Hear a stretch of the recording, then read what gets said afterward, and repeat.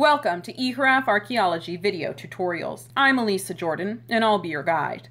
In this tutorial, you will learn how to arrive at the full context view of search results and how to print and email search results from within the full context view. We will use the example of a search on Central Asian burial practices in eHRAF Archaeology. The full context view for search results is available as an option on the Search Results by Tradition page, which comes after you select a given tradition from the Region and Tradition Results page after executing your basic or advanced search. Let's choose one of these paragraphs and look at it in full context by clicking right here. Your selected paragraph results will appear in the context of the full page from the original document. The author's name and document title appear at the top of the page. Next, the page focus box offers general information about the particular search result and page. Note that paragraphs on different pages in a single document may cover different times and places. This information is taken from the original ethnography. The table of contents box covers the entire document containing the page you are currently viewing. You can click on Front Matter, Body, and Back Matter to browse sections, chapters, and subchapter divisions of the document. If you want to hold on to these results, there are two options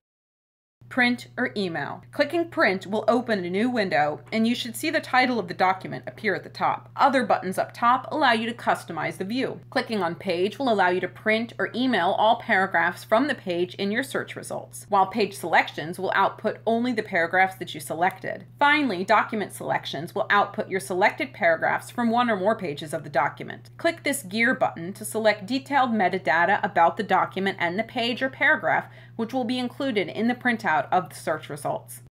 Now press Print. Close the tab or window to return to your HRAF paragraph search results. We hope this tutorial was helpful for you. Check out our other tutorials and stay in the loop, or contact us by checking out our homepage and linking up with us on Facebook and Twitter.